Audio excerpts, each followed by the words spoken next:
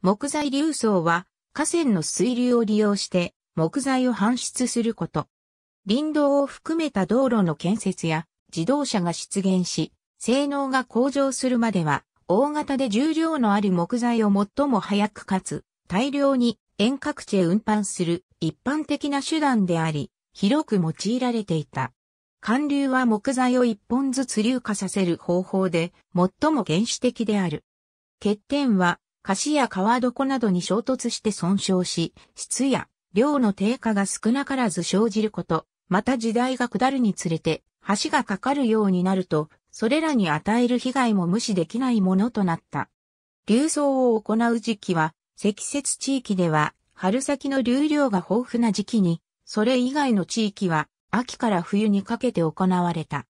川の水深は0.5メートルから1.0メートル程度があれば十分とされたが、水量が少ないが、地形的な条件の良い場所では、鉄砲石が組まれて一度に流走する手段も取られた。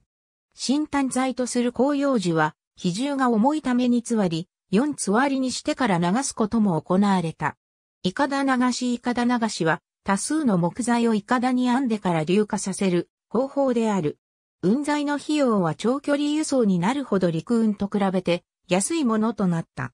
イカダの編み方は地方により異なったが、数本から数十本の木材を並べて結束して床を作り、数枚の床を連結してイカダとした。乗り下げにあたっては、通常は二人がイカダに乗り、竿と煽りで操作を行い下流へ向かった。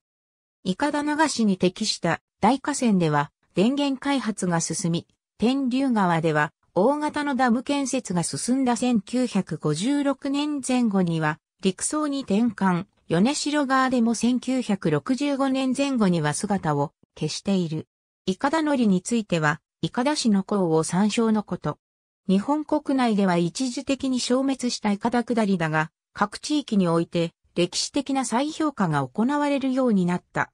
和歌山県北山村では1979年から観光振興も兼ねたイカダ流しが行われるなど、各地で運送業ではなく伝統の視点で復活が試みられている。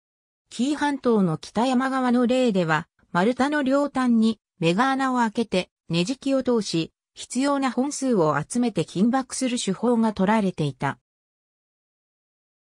これらは穴を開ける手間や穴を開ける分、長く栽培しなければならないデメリットがあったため、対象年間になると丸太の両端に鉄と呼ばれる金具を打ち込んで金箔する手法に変わった。